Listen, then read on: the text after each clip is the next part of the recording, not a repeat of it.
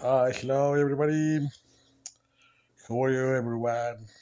I came to tell you one story about me what happened in the supermarket. My story about racism. Okay? Lo voy a decir en español. I'll tell you Spanish, okay? Estaba saliendo del departamento y fuimos a una tienda, no sé cómo llamarle, o se puede decir nombres o marcas, pero quiero decirles que el hecho de estar en Estados Unidos, muchas personas piensan que vinimos a barrer billetes, que vinimos a quitarles el trabajo a varias personas, cuando realmente no es así, simplemente que todos venimos por luchar por una vida mejor, entonces, pues el hecho de que se esté viviendo racismo en estos tiempos, la verdad, está gacho. Yo fui a una tienda mmm, de esas más económicas donde nos vestimos los latinos aquí en Estados Unidos. Se llama Burlington. Entonces, había un tipejo. Yo me unos 65, que sería, no sé si cuatro o cinco pies, no sé, no, no conozco mi medida en pies, ¿ok? Entonces, pasa esto, llegamos, yo, mi primo y su cuñado y el, el sobrino del cuñado de mi primo, ¿ok? Resulta y resalta que llegamos a la tienda, era un tipo moreno, eh, valga la redundancia, ¿no? Pues aspecto mexicano, aspecto latino. Llego y le pregunto, oye carnal, eh, ¿puedes ayudarme? Busco zapatos para trabajo pesado. A second. Entonces las gringas que trabajaban en esa tienda, eh, resulta que al despedirse, al salir de su turno de trabajo, llegan y lo saludan y dicen, Bye, José. How are you? Having a nice day. ¿Eh? Eh, sorry, le dice el muchacho. José, que tengas un bonito día.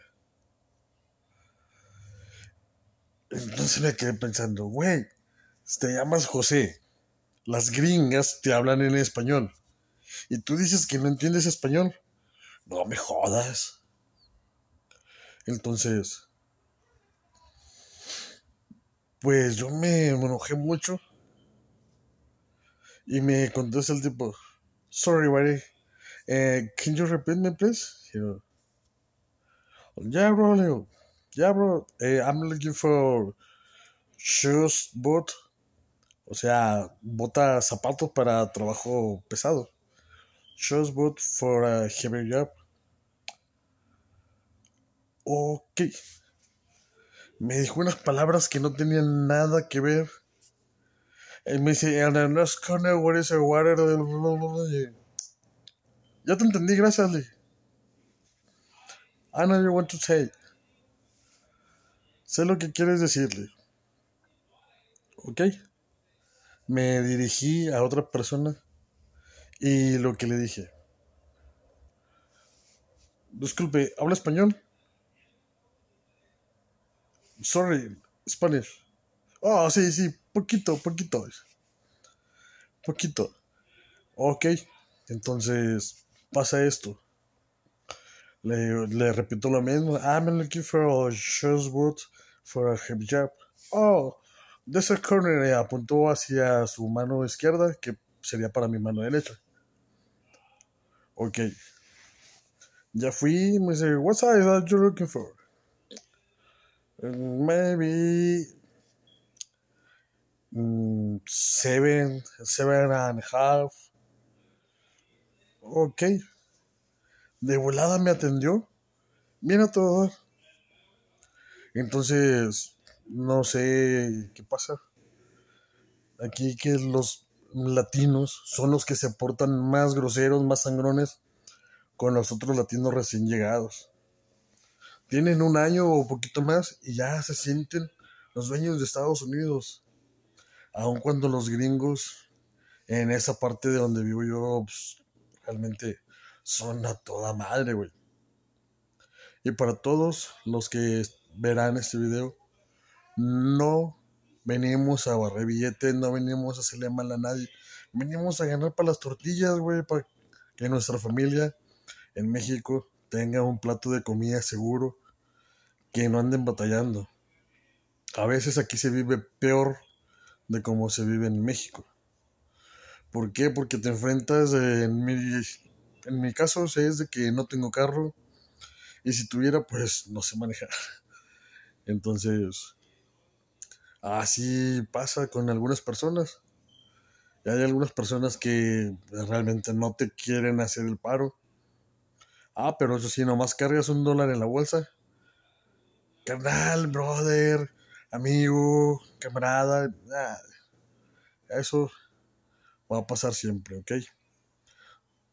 Tienen que estar preparados psicológica y físicamente para poder estar acá porque realmente no estamos en la gloria. Ok, así es que, en conclusión de esa historia, la semana siguiente yo quiero regresar y comprar unos zapatos eh, resistentes para el trabajo a esa misma tienda, Burlington. Y le dije a mi primo, primo, ¿sabes que si ese güey está ahí? Voy a llegar, le voy a hablar en español. Y le voy a decir, ah, güey, es que pensé que hablabas español porque tienes un pinche neopal aquí, pinche indio patarrajada.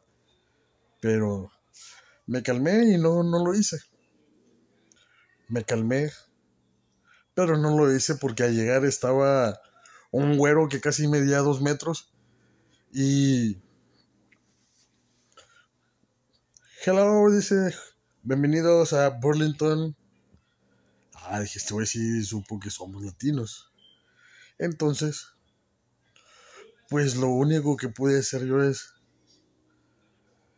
por pura curiosidad, ¿qué onda, güey? ¿Le hablas español? Oh, sí, sí, sí, poquito, poquito, poquito, poquito español. Mi mamá mexicana es. ¿Tú naciste aquí en México? Oh, oh, no, I'm born here, American United States. Ok, ok.